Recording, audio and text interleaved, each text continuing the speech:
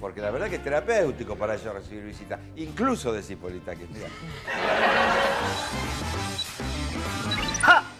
Digan lo que digan de ella, Vicky Exipolitakis no para de provocar sacudones mediáticos. Ahora parece que se convirtió en algo así como el ángel de la guarda de nuestros adultos mayores, doña.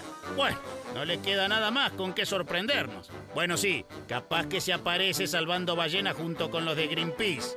Y después los cetáceos se terminan suicidando en masa en las costas del riachuelo, qué sé yo. Vicky aceptó, aceptó, aceptó. Sí, aceptó Aceptó todo. cordialmente ir a hacerle la fiestita al señor. Ir a hacerle la fiestita al señor. Petete. ¿Me perdí algo? Mire. Camina sola con 105 años. Escribe. Escribe.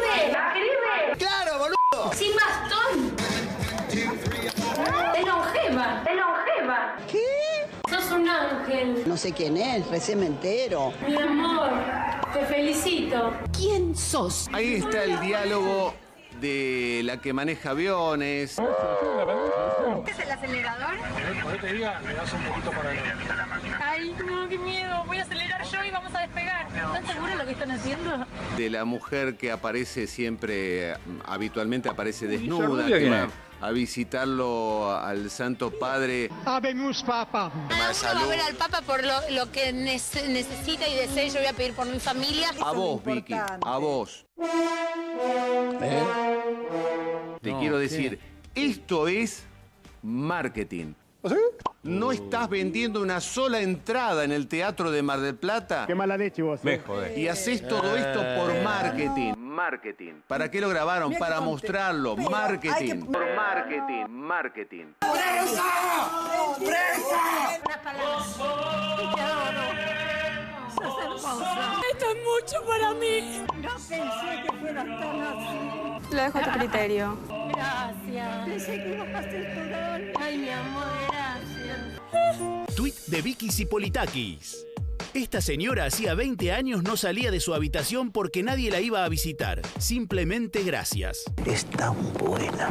Nadie duda de las buenas intenciones de la urraca griega. Pero, guarda, porque todo bien con hacerle la fiestita a los abuelitos. Pero como dice nuestro compañero Esteban Mirol, ojo que no provoque un paro en masa entre los nonos.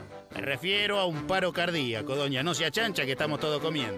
Le pone la espalda a este caballero y este hombre le da un bobazo, pobrecito. Es No. todo marketing. Uy, justo este otra vez. Los Buen usó, los usó, a los, a, a los queridos viejos los usó. Se irrita. Se le soltó la se cadena. Suelta la cadena. Vicky, Pero a ver, ¿cómo? marketing. Marketing, por marketing, marketing. Un Por más que desastre. sea Marti, Un Marti, desastre. quisiera- Un desastre. Tengo miedo que termine muy mal esto.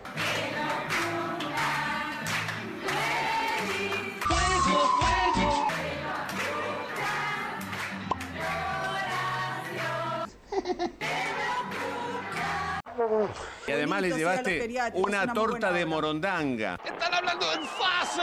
Un budincito de cuarta que No, sale pero res- 18. 12 pesos en el kiosco. ¿No viste las Ay, qué falta de comprensión que tenés. Compró seis tortas. Manzana, ricota, chocolate. Picle, aceituna en escabeche. Una chocotorta, Ay, qué rico. una dulce de leche una de de maracuyá. Seis tortas. Es Cada torta cuesta 150 Incomprobable. mangos. Déjate de joder.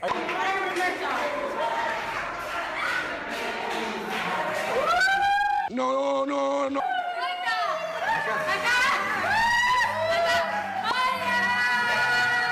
Hola.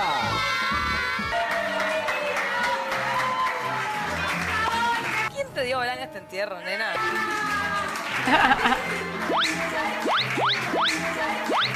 Estoy perdida.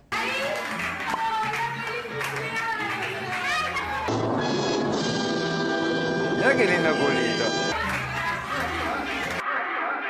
Para un poco, loca. No Mi era entradas. eso, que queme el abuelito que le puso tan cerca la velita. No le puede dar un bobazo. ¿Vos, ¿Vos sabés la emoción de este hombre después de ver esa cola? Vamos a repetirla. ¿Vos sabés la emoción de este hombre después de ver esa cola? Nunca vieron un culo, pero por favor. Andás a verle cómo le. Después, cómo le.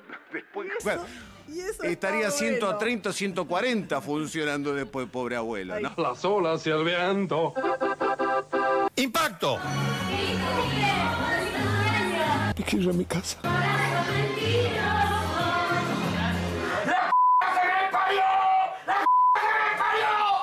Mirá qué contento que se pusieron. Sí. Las abuelitas la están aplaudiendo. Pero vos sabés lo que puede haber provocado esta chica. ¡Un tsunami seminal! Más de un, mu- de un muchacho de los que está ahí, por ahí. Leche este, mucha. Le, le agarra un bobazo. Bobazo, bobazo.